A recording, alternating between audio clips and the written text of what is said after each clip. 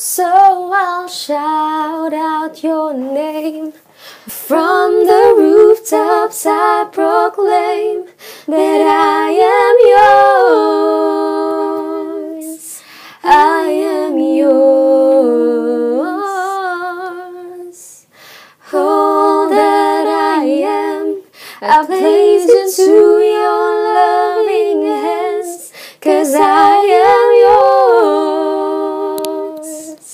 I am yours.